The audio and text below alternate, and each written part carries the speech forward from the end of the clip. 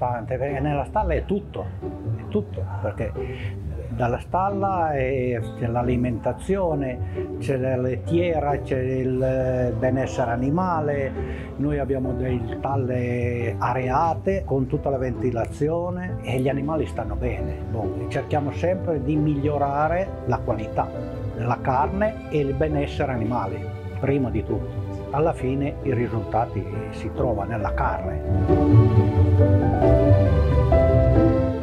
La carne l'ho, l'ho assaggiata, per me è buona, l'ho trovata tenera e gustosa e io sono contento, sono contentissimo perché si vede il frutto del, del mio lavoro, della mia passione e del lavoro che ho fatto.